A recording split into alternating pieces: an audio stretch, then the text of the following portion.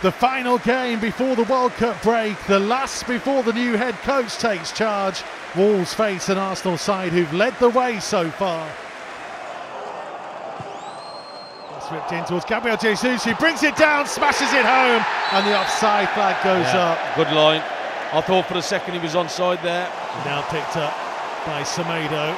We can try and set Boubacar Traore away. Early one in field, looking towards Guedes. Guedes, is he taken down? Adama Traore to strike it. The offside flag has gone up against Guedes. Oh, wow. What a break that was. What a break. Oh, I don't think he was offside. He was close. Well, the replay inconclusive from the angle that we've just seen. Out towards Martinelli, who slipped, and now Wolves are going to be able to break on the counter. Semedo carrying it over the halfway line. Boubacar to his right, threading through to Gonzalo Guedes! Oh. Brilliant tip over.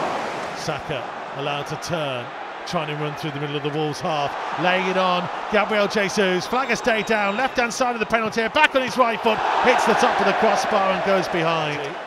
Bueno had set off. Toti trying to release him. Saliba will get across to the ball. Oh, oh loose one by Saliba. And Gonzalo Guedes hits the penalty area. Guedes! Oh, he couldn't curl it inside the far post.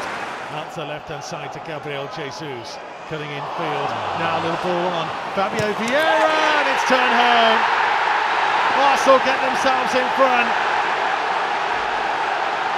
Martin Odegaard applying the finishing touch from a yard or so out. First real time they've got in behind Wolves and caused them issues.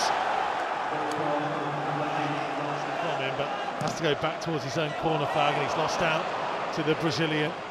Martinelli, little back heel, Zinchenko into the penalty area the byline, pulls it back, could have gone anywhere, head goal what's all.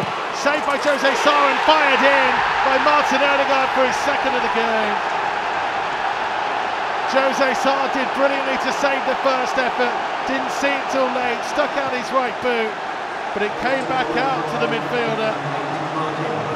And Odegaard made no mistake. Arsenal have a cushion.